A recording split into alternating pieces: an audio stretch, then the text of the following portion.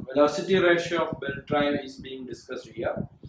There is a driving pulley, there is a driven pulley, and the radius of driving pulley is R1 and that of driven pulley is R2. So here we are having a belt of uniform thickness. So let the thickness be 2.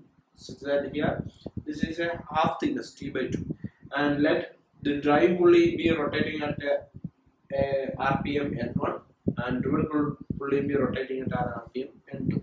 Now here what we want to know is this is the belt and we are taking two points. Let this point be a and there will be another point which is b. So there are two points a and b. And now if we are considering this belt as elastic and as elastic or uh, if we are considering it as non-elastic sorry if we are considering this as non-elastic there will be no deformations. And if there is no deformations and if these two pulleys are rotating then the velocity at any point in this belt will be same. That is if we are considering these two points the velocity at these two points will be same.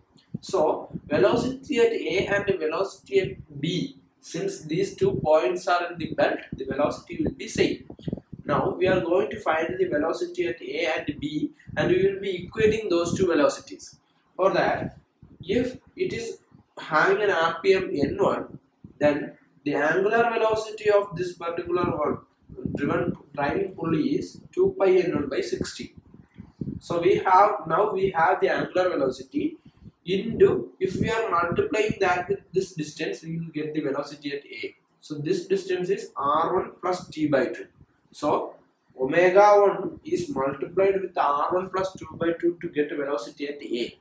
Similarly we have the uh, omega 2 that is 2 pi n2 by 60 and that omega 2 if you multiply with this distance we will get the velocity at b and that distance is equal to r2 plus t by 2 why we are taking t by 2 is we are considering this a and b are at the center of this belt.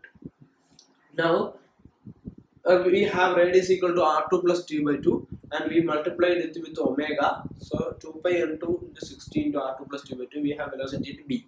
Now we have already said the belt is inelastic that means velocity at a and b are same. So va is equal to vb so we are equating those two velocities. This 2 pi and 2 pi will be cancelled.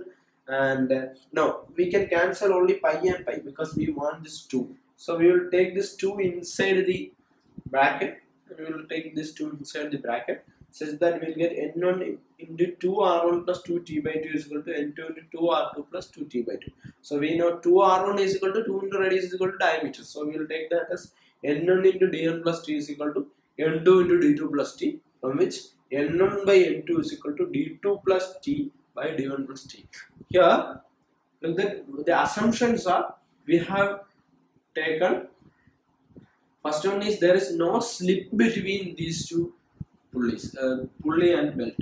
There is no slip. And second one is this one is inelastic. So by assuming those things we can say that the velocity ratio n1 by n2 is equal to d2 plus t by d1 plus t where d1 and d2 are the diameters of the respective pulleys and it is thickness